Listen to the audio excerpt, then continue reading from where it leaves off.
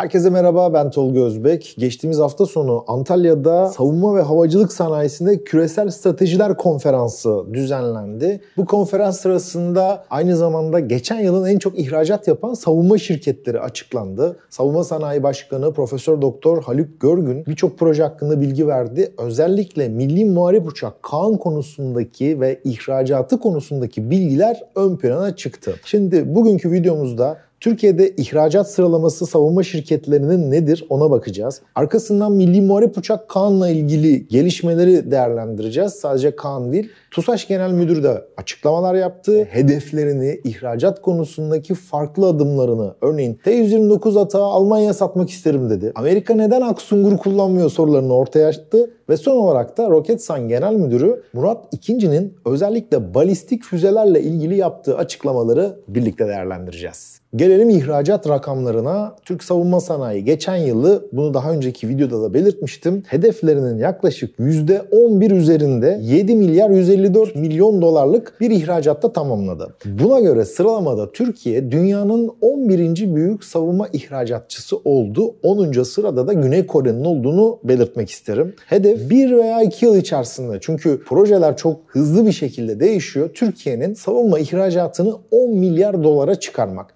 Peki 2024'te Türkiye'de en çok savunma sanayi ihracatı yapan şirketler neler oldu? Şöyle en alttan sıralamaya doğru bakarsak Samsung Yurt Savunma, Canik markası var e, ve aynı zamanda Unirobotics gibi farklı sistemlere sahip 166 milyon dolarla sıralamaya girdi. Hemen üstünde Roketsan var. 179 milyon dolar Roketsan'ın e, geçen yılki ihracatı. 193 milyon dolarla RAM dış ticaret yani Otokar'ın yaklaşımı geliyor. Otokar geçen sene Romanya'ya çok önemli bir ihracat başarısı araç konusunda gerçekleştirmişti. E, Otokar'ın hemen üzerinde 217 milyon dolarla Aselsan var. Aselsan da son dönemde özellikle ihracat konusunda gaza basmış durumda. 217 milyon dolar Aselsan'ın doğrudan yaptığı ihracatlar ama bir bakıyorsunuz İHA ihracatındaki kamera e, yapan şirkete ait. Yani birçok projenin de alt sistemlerini Aselsan veriyor. Bu 217 Aselsan'ın yaptığı ihracat.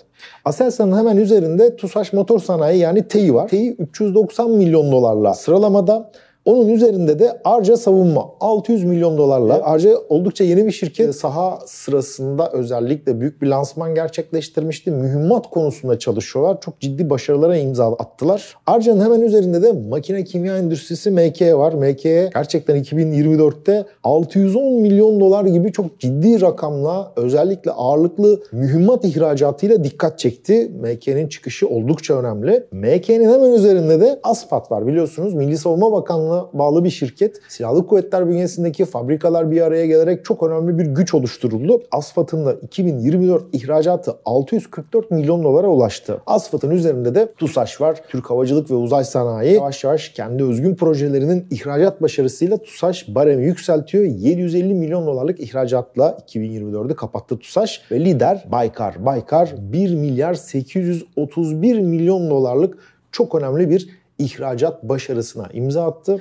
Baykar'ın toplam cirosunun %90'ını ihracat oluşturuyor. Kalan %10 yurt içi satışlardan. Baykar özellikle silahlı insansız hava aracı pazarında kendi sınıfında Amerika Birleşik Devletleri, İsrail ve Çin'i geride bırakarak liderliğini ilan etmiş durumda ve pazar payı da %65 oranında en yakın rakibi Amerikalı General Atomics'in 3 katı büyüklüğünde bu arada bunu da belirtmekte fayda var. Baykar'ın ihracatı şu an TB2'ler 34 ülke envanterinde. Akıncı ise 10 farklı ülkeye ihraç etmiş durumda. Burada da kullanıcı ülkeler arasında şu çok önemli. TB2 NATO üyesi 6 ülkenin ve Avrupa Birliği üyesi 4 ülkenin de envanterinde biliyorsunuz Baykar bir taraftan Fergani ile uzay pazarına açılmaya hedefliyor. Diğer taraftan İtalyan havacılık şirketi Piaggio'nun 100 milyon euroluk yaklaşık bir fiyatla satın alınması konusunda ön izinler çıktı. Nisan ayı içerisinde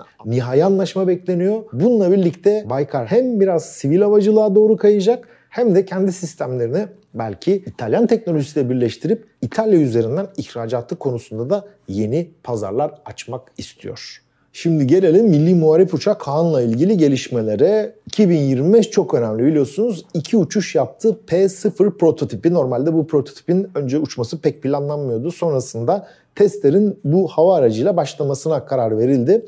Bu yıl gerçek prototip P1 için üretim başladı ve bu yıl P1'i havada göreceğiz. Muhtemel ikinci prototip P2 de bu yıl sonuna kadar uçmaya başlayacak ve yoğun bir test programı var. Bu programla da ilgili olarak Savunma Sanayi Başkanı Profesör Doktor Haluk Görgün şunları ifade etti. Geçen hafta Kaan'da paydaş olan herkesin katıldığı bir toplantı düzenledik. Son kullanıcı ve gelişimine, üretimine, tasarımına katkı sağlayan Hava Kuvvetleri Komutanımız başta olmak üzere ilgili personeli, ana entegratör şirketimiz SUSAŞ'ı ve Kaan'daki alt sistemleri, faydalı yükleri ve kullanılabilecek mühimmatları üreten şirketler katıldı. Geldiğimiz süreci değerlendirdik. Takvimin zamanda işleyip işlemediğini anlamaya çalıştık. Burada bu cümleler çok önemli. Projenin zamanında gitmesi lazım. İşte görüyorsunuz işte Eurofighter'dan fiyat teklifi alındı. F-16'lardan, Blok 70'lerden 40 adet alınacak. Modernizasyon Türkiye'ye doğru kayıyor. Burada Milli Muharip Uçak K'nın zamanlaması çok çok önemli.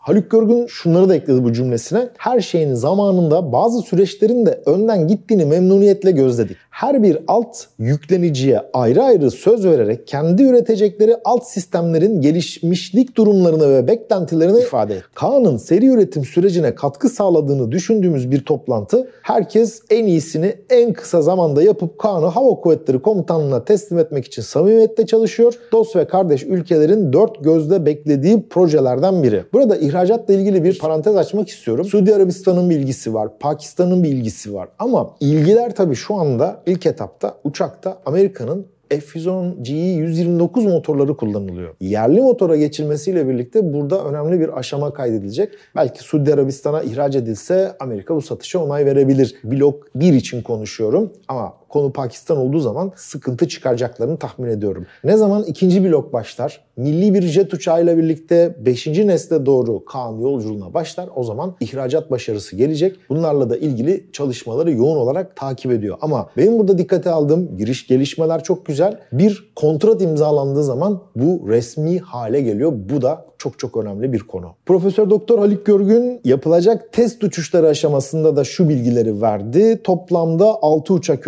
Is. 6 uçak seri üretime giden yolda süreçleri hızlandıracak. Her birinin fonksiyonu ve test faaliyetleri de ayrı olacak. Şirketimizde üretim altyapısıyla 6 uçağı en kısa zamanda üretip havalandırmak için gayretle çalışıyor. Gerek ilk üretilen gerekse de devamında gelen uçaklar için uçuş planlamaları yapılıyor. Vaziyetler bu. Yani hedef uçakların, ilk prototiplerin bu yıl içerisinde iki uçağın uçması, sonrasında yoğun bir test programı 2028-2030 arası oldukça hareketli geçecek ve hedef 2030 ile birlikte yerli motorun oluşturulmasıyla birlikte projenin tamamen 5. nesle doğru kayması. Türk Havacılık ve Uzay Sanayi Genel Müdürü Doktor Mehmet Demiroğlu da çok önemli açıklamalarda bulundu. Hedeflerini anlattı. TUSAŞ yavaş yavaş ürünlerini artık olgunlaştırıyor. Silahlı kuvvetlerin envanterine sokmaya başladıkça ihracat başarısı da geliyor. Zaten İHA'larda Anka olsun, çift motorlu Aksungur olsun bunlarla ilgili güzel başarılar yakalandı. Halen Anka 3'ün test uçuşlarını devam ediyor ama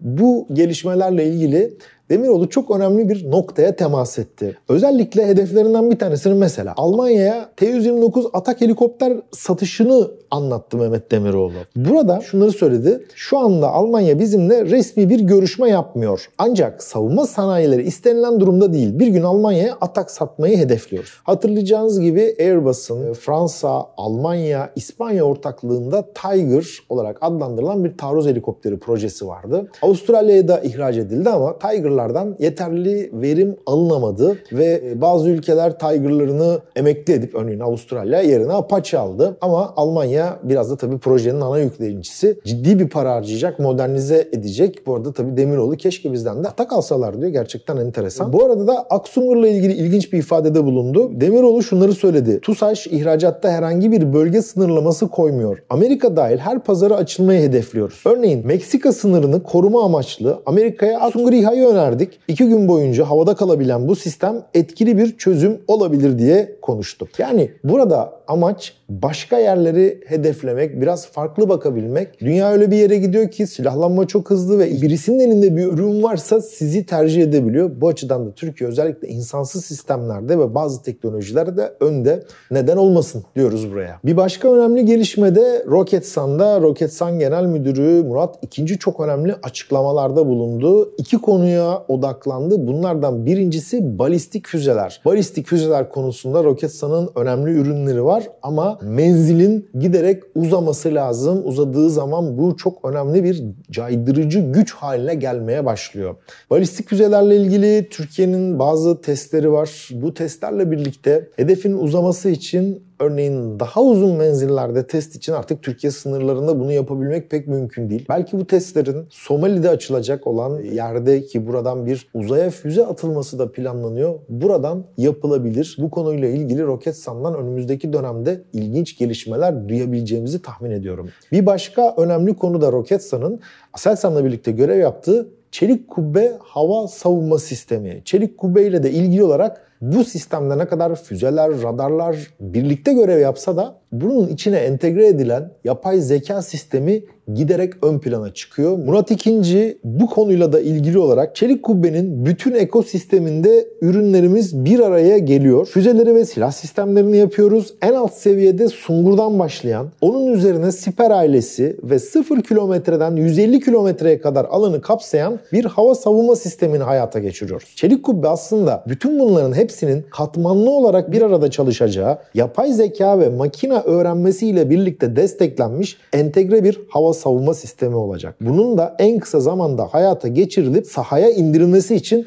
var gücümüzle çalışıyoruz diyor. Balistik füzelerle birlikte bir başka önemli ürün de Roketsan'ın ailesindeki atmaca. Atmaca deniz platformlarından atılmak üzere geliştirildi ve aynı konsepte karadan atılan bir atmaca konusunda da çalışmalar devam ediyor. Kara atmaca içinde menzil hızlı bir şekilde arttırılıyor ve burada Türkiye'nin özellikle kıyı savunma şeridi için büyük önem arz ediyor. Evet sizlere bu Antalya'da yapılan toplantı, Savunma Sanayi Başkanı Profesör Doktor Haluk Görgün, TUSAŞ ve Roketsan Genel Müdürlerinin yeni açıklamalarını ilettim. Böylece de bir savunma projeleriyle ilgili de bir güncellememizi sağlamış olduk.